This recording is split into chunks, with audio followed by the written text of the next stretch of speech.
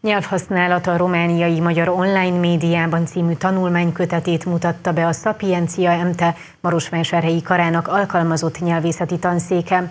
Ez a sorozat ötödik kötete, amely egyszerre folytatás és új fejezetet is nyit.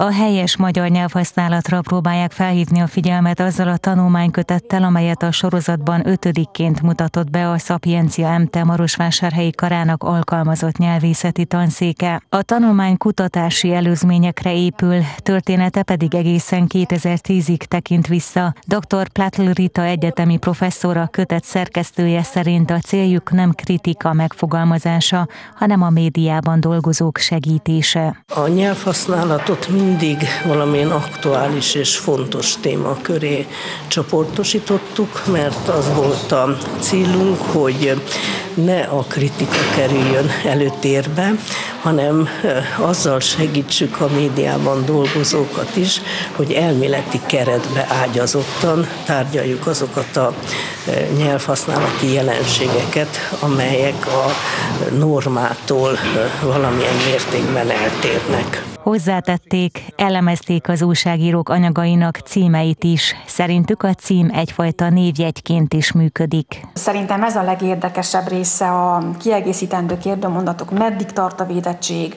mit ér egy majdnem 90 napos kormányzás.